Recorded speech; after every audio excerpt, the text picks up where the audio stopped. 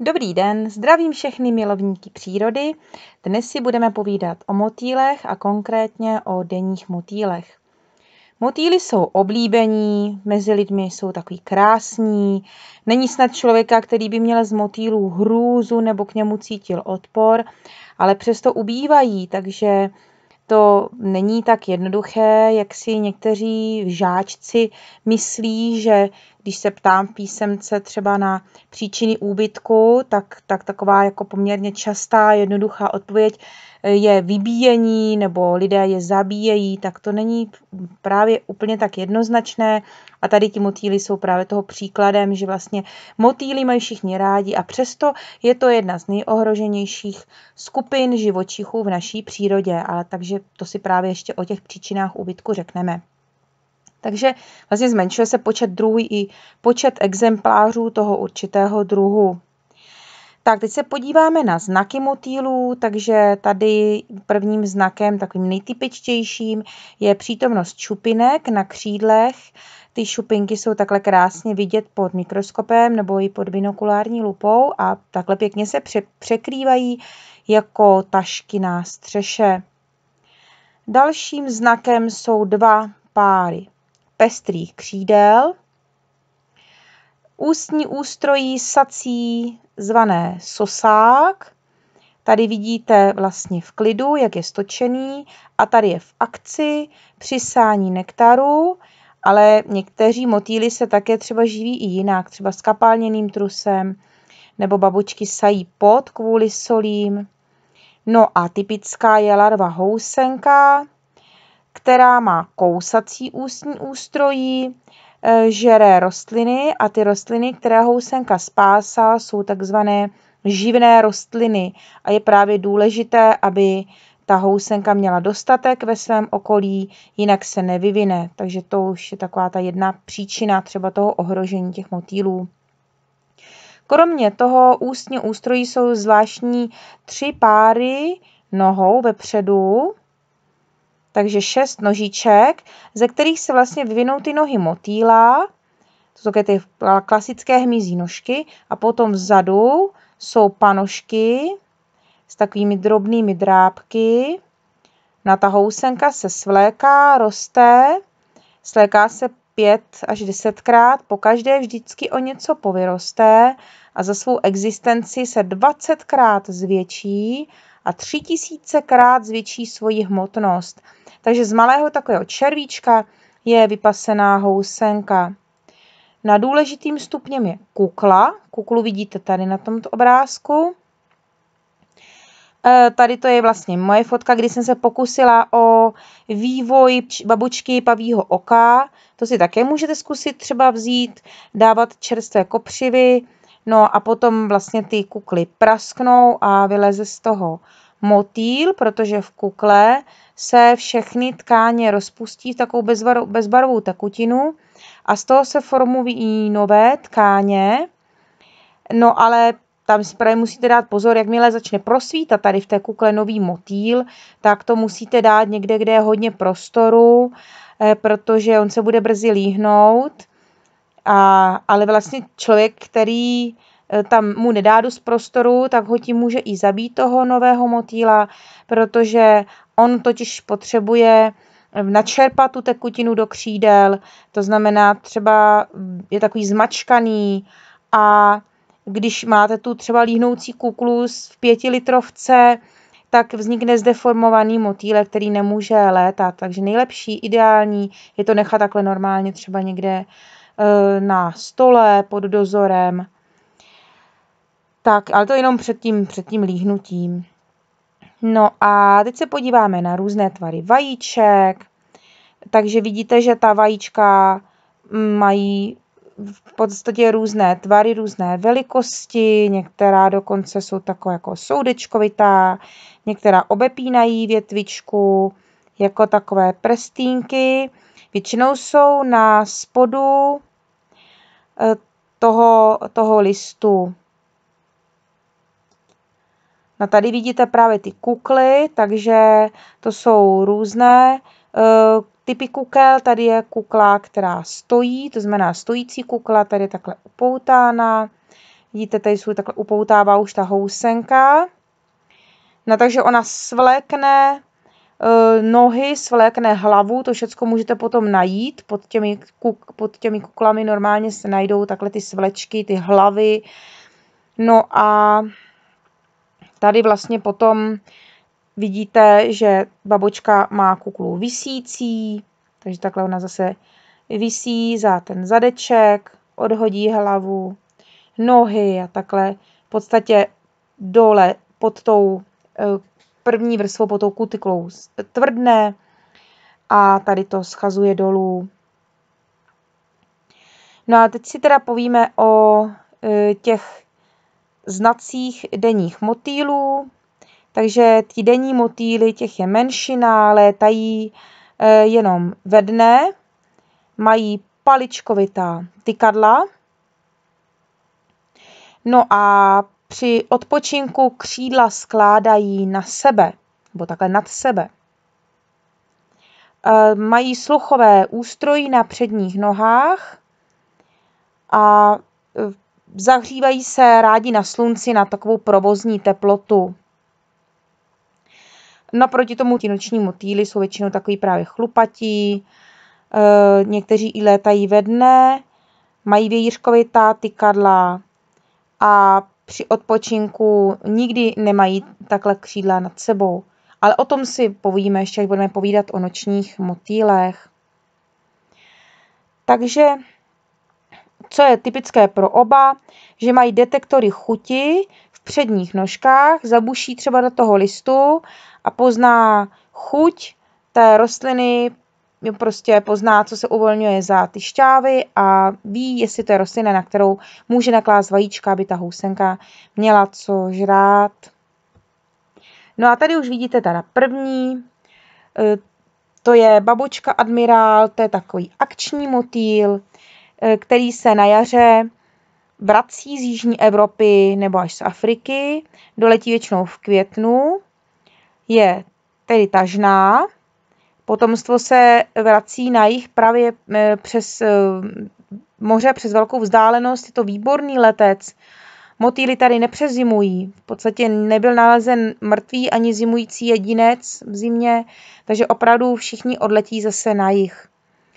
No a poznáte je podle takových pásků na křídle a dokáže se poměrně dobře vyrovnat s civilizovanou krajinou, takže není zase tak ohrožená. Tady vidíte právě, jak se je nektar.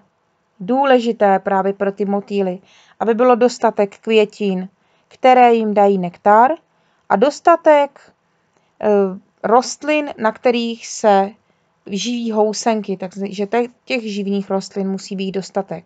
Nestačí jenom mít květiny na sání nektaru, musí mít co jíst i ta housenka. Tak, tady potom je babočka kopřivová. Babočka kopřivová má takové pěkné pásky, to je takové černé pásky. A poznáte ještě podle takového modrého lemování. Žije v lesech, na loukách, v záhonech ve městě. Právě teď se hodně zakládají takové letničkové záhony ve městě. Se zoře takový ten klasický zelený trávník a, a vysejou nebo nasází se do toho takové letničky, tak to právě velice často ona navštěvuje. Tady vidíte její housenku, která je taková zeleno nebo e, žluto-černá. Tady vidíte právě na té kopřivě. Má takové právě to kontrastní zbarvení. Na rozdíl třeba od babočky pavího oka. Babočka paví oko e, má, rost, má, má housenky, které taky žijou na kopřivě, ale ty housenky jsou černé, trnité, takové lehce bílé kropenaté a lidé se právě mylně domnívají, že to je babočka kopřivová, vidí housenku na kopřivě, ale tady právě ta babočka paví oko, to je ještě, ještě taková čas, jakoby četnější. Takže časy uvidíte možná tady tyto housenky babočka, babočky pavího oka. Žije taky na pasekách, na loukách, v zahradách. Má ráda jetel, bodláky, takže nechat občas vykvést na zahradě, ne, vykvést nějaký bodlák, nemusí všecko, co má trny, hned pryč. eh, někde to nechat prostě v rohu, aby vás nepomluvili sousedi, eh, nechat kopřivy právě zase někde na nějakém osluněném místě, nechat je růst, ať prostě tam naklade ta babočka ta vajíčka, může tam žrát ta housenka, takže prostě nemít takové ty klasické, krásné v úvozovkách zahrady, kde prostě je to všecko vymydlené na 2 cm ta tráva, takže nechat bodlák, nechat kopřivu, nechat nějakou třeba dobromysl, oni eh, mají poměrně dlouhý život, ty babočky, paví oko, eh, dospělci přezimují ve sklepech, eh, někde na půdách, na chatrčích, pozor právě na ty půdy nebo na sklepy, eh, nezavřít to, nebo to zavřít, ale na jaře to zase, jak se začne oteplovat, otevřít, aspoň trošku, aby oni tam neumřeli, no, protože na jaře se probudí a pak se v těch uh, zavřených místnostech omlátí. Tady vidíte právě tu housenku, vidíte tady, jak jsem říkala, že má tři páry nožek a toto jsou ty panošky, zdrábky na to přichycování. Tady právě ještě vidíte ty kukly, jak jsem říkala, že jsem si nechala je vylíhnout doma. To jsem si právě říkala, že si užiju pěkně vývinu babočky pavího oka, takže si pěkně budu dívat, jak žere, takže jsem si donesla uh, housenky, ty se druhý den zakuklili, tak jsem si říkala, jak pěkně budu pozorovat, jak žerou. Druhý den se zakuklili, tak si říkám, dobře, dobře no tak aspoň uvidím, jak se líhne. Eh, motýl s kukly. No a takže pořád to bylo takhle nic se nedělo, pak jsem to dala takhle na stůl, protože už prosvítala, prosvítala ta křídla, No a těšila jsem se, že uvidím, jak ten motýl teda pěkně se vyvine a zrovna jsme museli na půl dne pryč, tak, no, tak jsem to vzala, dala jsem to na balkón, no a když jsem se vrátila, tak, tak kukly byly obě prasklí a motýly byly pryč. To potom je babočka Bodláková, což je takový výborný letec, letí až ze severní Afriky, tady je to také tažný motýl, který přilétá v květnu a vlastně potom koncem léta e, letají zase na jich potom ti noví motýly. E, motýly sají na bodlácích, e, na kopřivě se vyvíjejí, tak zase prostě důležité jsou ty přírodní zahrady eh, s těmi kvetoucími českými rostlinami s těmi, a s těmi živnými rostlinami pro housenku. Tady je babočka bílé ta je, ta je zajímavá, zajímavá tím, že má takové C na spodní straně křídel No a tady potom je babočka osiková. Babočka osiková, té se někdy říká černopláštník, ta vytváří pouze jednu generaci. U nás dospělci se líhnou až v červenci a oni mají rádi pryskyřici, různé e, ovoce, takže když vám popadají třeba jablíčka na zahradě, tak oni velice rádi se na tom živí a zimu právě stráví v úkrytu a na jaře, jak se probudí, tak hned e, prostě hledají tu potravu. E, jsou to třeba kočičky, to znamená v podstatě ty kvetoucí e, vrby, jívy, kterým se říká kočičky a u přezimujících motýlů je právě strašně důležitá ta jarní strava, to když ti zesláblí motýly se vynoří z těch zimních úkrytů, aby se měli hned nad čem napít takže netrhat ty kočičky. Často vidím lidi, jak se vrací z náručí kočiček, prostě jen tak pro radost domů.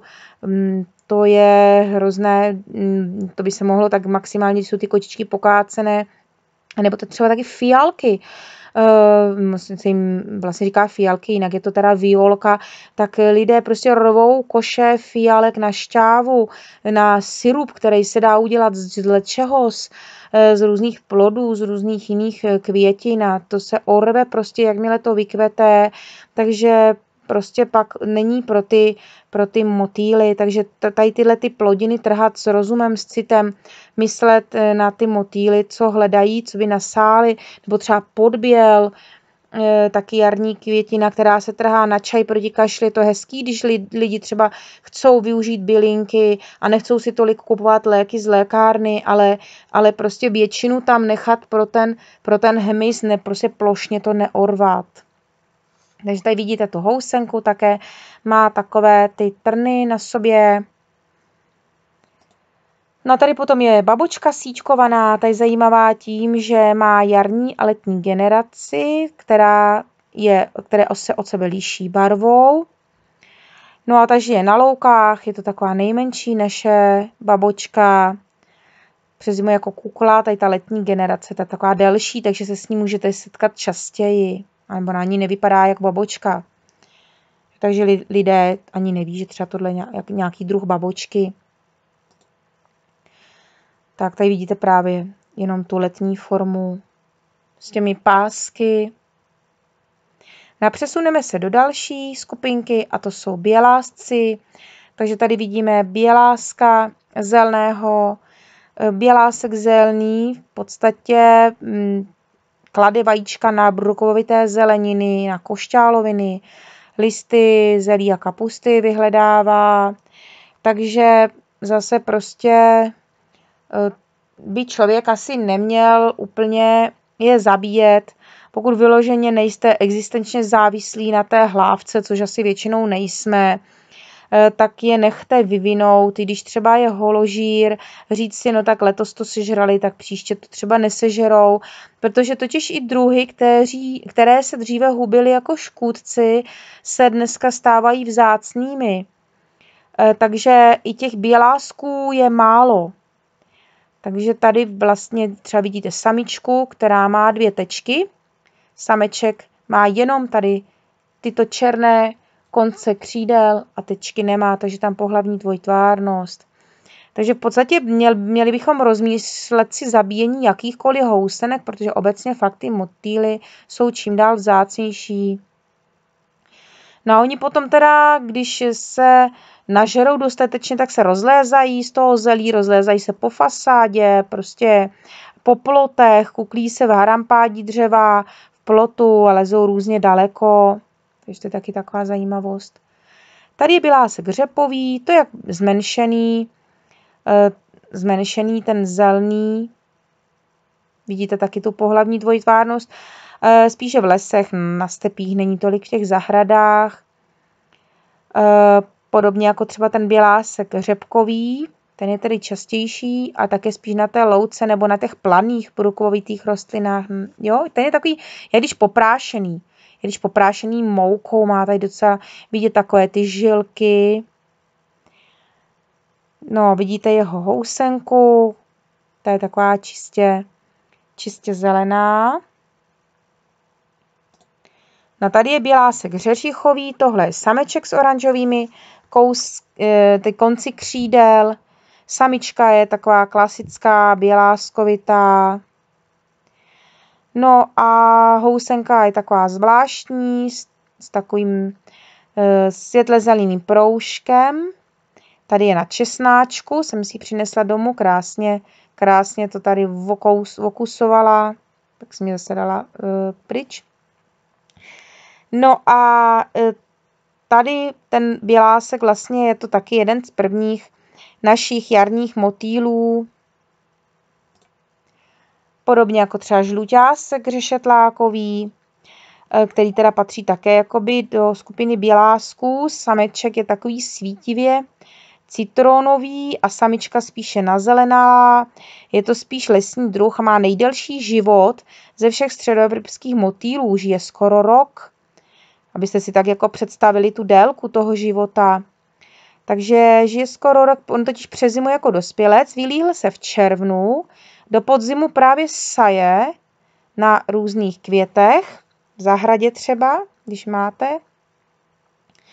No a pořádně se nacpe a pak mezi kameny v dutých stromech spí, má v těle takovou nemrznoucí kapalinu v těle a zase na prvních květech po probuzení se e, snaží jakoby napít, takže opravdu žije skoro rok. No a klade zase, eh, naklade vajíčka, pokračuje ta další generace.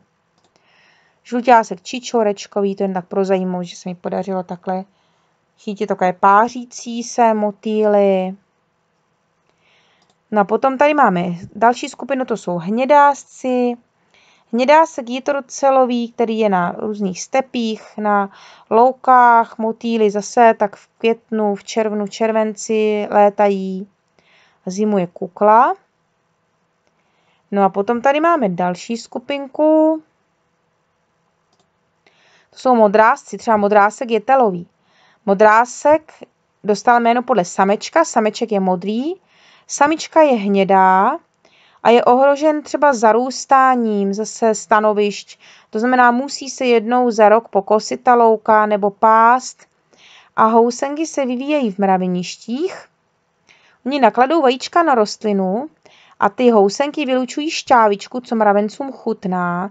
A mravenci si donesou poblíž mraveniště tu housenku a za odmě, od, nebo jako odměnu za tu šťávičku e, jim dávají nějaké jídlo, krmí je, někdy se i na noc nosí do mraveniště.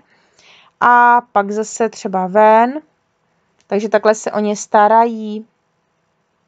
No ale někteří mají větší tu závislost, třeba modrásek černoskvrný, ten dokonce housenku odnese do mraveniště, ona jim žere larvy, a někdy v malém vlastně mraveništi, nebo když je víc housenek, všechno vyžere a e, zabije to mraveniště, nikdy ani jí to neuživí a tím vlastně zabije i sama sebe.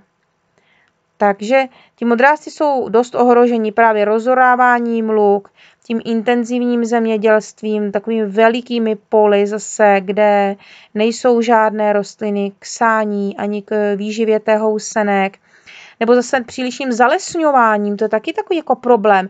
Lidi si myslí, ano, sází se les, to je dobře, prostě stromy jsou dobře, les je dobře. Ne vždycky.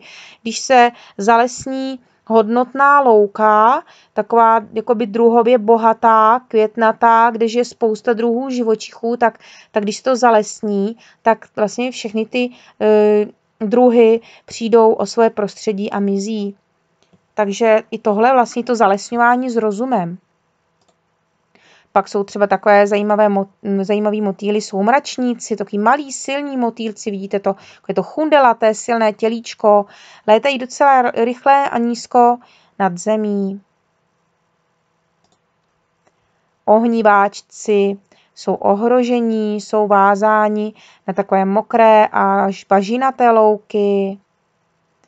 Jo, takže prostě ty motýly mají různá stanoviště, ne, nestačí jenom mít záhon s květinami, myslet si, ano, tady bude, tady bude květinový záhon, tak je to v pohodě. Někte, někteří motýly chcou zase třeba louku, kde budou trávy, čistě jenom trávy různé, nebo tady ten právě zase baží na tou louku, takže prostě ta nejpestřejší krajina, ta je dobrá pro motýly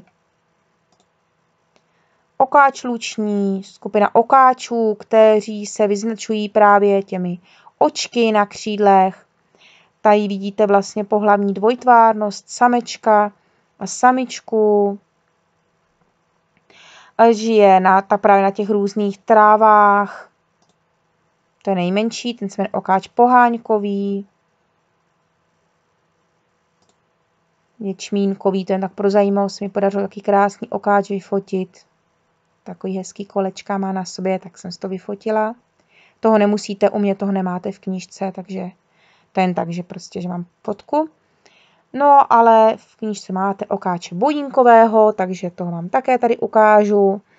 Ten právě žije na pasekách, na stráních, na loukách. Je citlivý na jakékoliv chemikálie, takže zase co zabíjí motýly, hnojiva umělá, pesticidy, to znamená látky na ničení nějakých jiných organismů, třeba plevelů, protože oni ty housenky se stravují na té trávě, právě jako housenka i přezimuje. Takže e, nejenom prostě ty změny krajiny, ale i ta, ta chemizace, to je velký problém. No tady máme otakárka feniklového, dostávám se k nejkrásnějším motýlům naší přírody. Otakarek feniklový tady dělá dvě generace u nás, to výborný letec, žije na takových právě různých bodlácích, nebo saje, bodlácích, pta, pcháčích, to jsou takové zase ty trnité, říká se tomu plevele, že jo, protože my to nechceme, takže my to prostě jako vytrháváme, ale zase, jak jsem říkala, prostě pro tyto druhy je to strašně důležitá rostlina, nektarodárná, plná prostě toho, té šťávy. No a housenky potom jsou na míříkovitých rostlinách, což je třeba mrkev, kopr, Vidíte, jak ta housenka je krásná a tady má takovou vidlicovitou pachovou žlázu proti predátorům. Ona tedy zastrašuje i vzhledem. Jo, už taková ta, i ta barva je taková nic moc, jako že ten predátor jako si ani není moc jistý, asi jestli něco takového chce zežrat, že jo.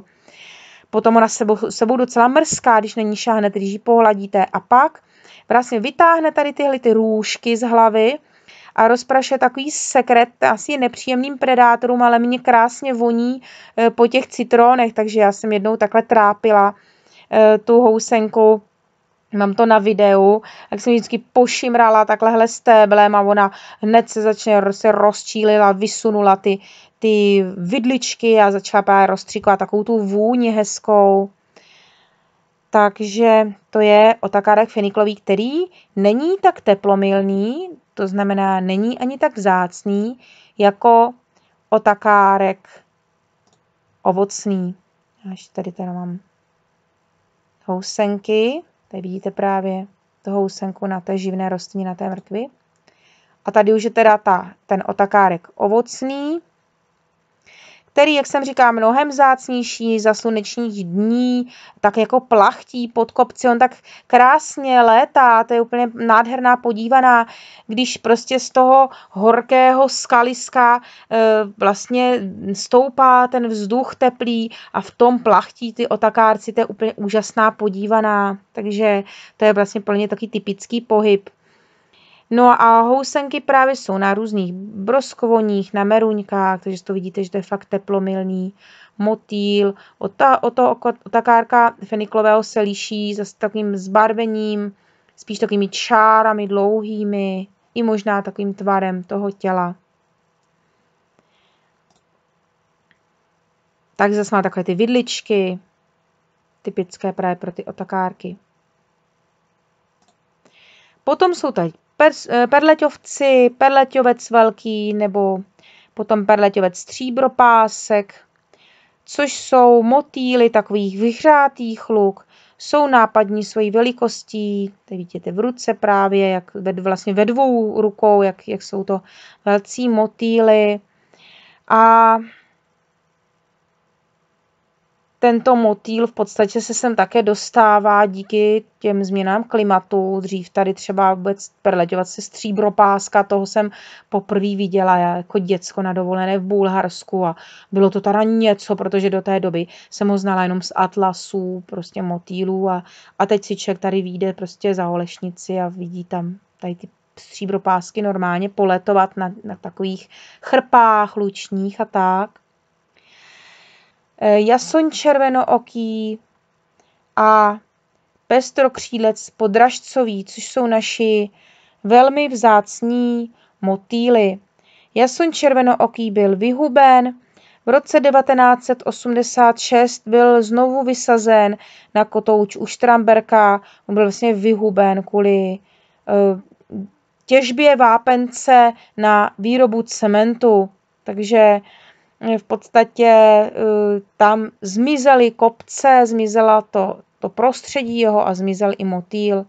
Ale tam se to povedlo, ta reintrodukce, takže to je uh, výborná zpráva, žije tam právě na těch horký, horkých skalnatých stráních, uh, anebo zase do údolí třeba zalétá na taková vyhřátá místa bez lesů právě na tohle pestrokřídlec podražcový. Je máte oba v knížce, tak jsem si říkala, že se o nich právě zmíním, jinak určitě by i jiní motýly stály za zmínku. No a tohle je právě takový zase motýl, který je v nižších polohách, má moc rád slunce, vysoké teploty. U nás je na severní hranici rozšíření a podražcový znamená, že žije na rostlině, která se jmenuje podražec, tady možná kousky jsou vidět, to je velice taková uh, ohrožená rostlina právě zase pesticidy, to znamená mizí ta rostlina, mizí i ty louky, zalesňují se, anebo se špatně sekají prostě, to znamená, zase musí být určitá taková péče o tu lokalitu, aby právě ten pestrokřídec tam mohl, mohl jako vyžít, musí se sekat určitou dobu, jo, kdy prostě to tomu motýlovi neuškodí, ale spíš prospěje.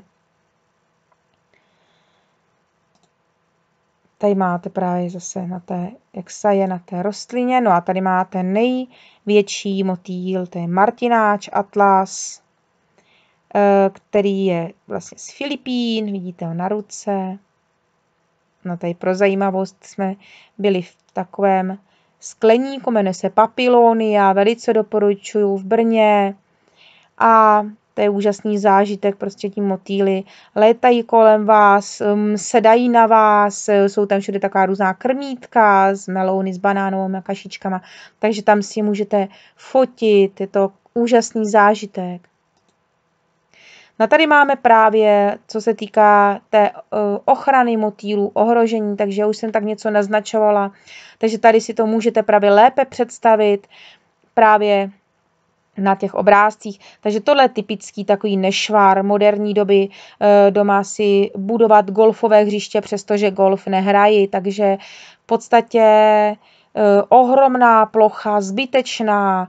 Eh, v podstatě člověk by mohl mít jenom tak, tam takový trávníček, kde se sluní, kde relaxuje, ale jsou opravdu prostě 200 metrů čtverečních takovýchhle ploch, které se mydlí pořád tou sekačkou a lidé to považují za krásné, takže to je vlastně pro, ty, pro tu přírodu okolo domů úplně devastující. Když si vezmete, že vlastně e, ta lidská civilizace rozpíná víc a víc do přírody, tak právě bychom to měli kompenzovat tím, že bychom jim tu přírodu právě měli nabídnout v okolí toho našeho domu. Takže tady je prostě vysetá nějaká přírodní louka, která se kosí jednou za rok, ještě lepší kousit to na části, aby třeba ten hmyz stačil přelest na tu druhou část, která, která není pokosená.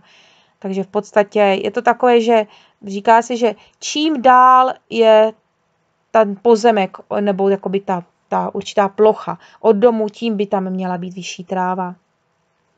Tady to jsou pesticidy, právě to intenzivní zemědělství, ohromné plochy, monokultury s jednou plodinou, ještě právě hnojené, stříkané, takže tady prostě takováhle plocha nedává motýlům žádnou šanci. No a tady potom právě vidíte, co je dobré vlastně, to znamená nějaká přirozená cesta a okolo takové pásy, pásy, které se nesečou, pásy těch e, přirozených e, jakoby rostlin, živných rostlin pro ty housenky. No a problémem je i právě chemizace, kyselý déšť, to znamená automobilová doprava, kdy se z výfuků dostávají e, oxidy, které potom reagují e, s vodou a vzniká kyselina, která v podobě deště, kyselého deště padá na tu krajinu a zabíjí právě třeba housenky nebo zabíjí ty e, živné rostliny a pak housenky nemají co žrát, takže eh, v podstatě změna té eh, chemie, změna, změna toho vlastně prostředí, co po té chemické stránce také velice, velice škodí. Takže vidíte, jakou, jaké jsou tady souvislosti. Prostě i tím, že jezdíme třeba do práce autem, tak tím vlastně škodíme motýlům. Nemusíme vzít, žádnou plácečku a zabíjet motýly. Stačí jenom pro, prostě to, že se chováme neekologicky. No tady, jak jsem říkala, třeba to zalesňování, takže taková eh, pěkná louka, na které by možná mohly motýly růst, takový pěkný pás mezi různými keři, asi je to tady nakloněný, možná to vyhřátý, i že jo, takový pěkný sklon to má, určitě by tam nějaké motýl, nějací motýly mohly žít, ale prostě majitel se rozhodne to zalesnit, nasází tam něco, eh, co tady vidím, tak podle mě je to smrk, takže to je ještě největší možná hrůza, takže i zalesnění může také zničit populaci motýlů. Takže to bude asi všechno pro dnešek. Děkuji vám za pozornost a určitě si všímejte motýlů, všímejte si v okolí vašeho eh, domu, jestli tam motýly mají nějaké možnosti k žití a případně jim tam klidně můžete třeba vyset nějaký záhonek, tady se to dá koupit, eh, takové různé eh, směsi, směsi pro čmeláky, směsi pro motýly, takže stačí jenom se o to zajímat. Tak jo, takže děkuji za pozornost a budu se těšit na, shledanou u povídání o nočních motýlech.